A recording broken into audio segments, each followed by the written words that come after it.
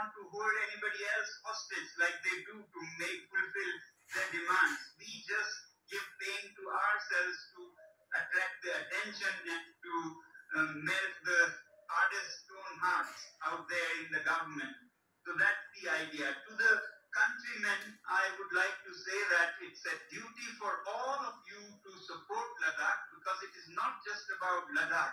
Even the glaciers that we have in the Himalayas, more than us, it serves entire North India. One billion people depend on it. Very soon, if, if industrial plundering, mining happens without any, you know, safeguards, uh, you will not have water too.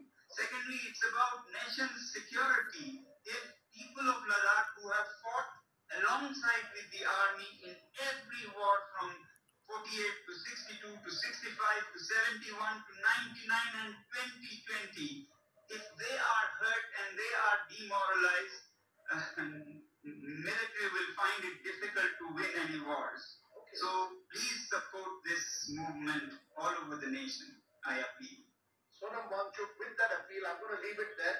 I wish you well. I hope that your fast ends sooner rather than later, and at least the dialogue begins with New Delhi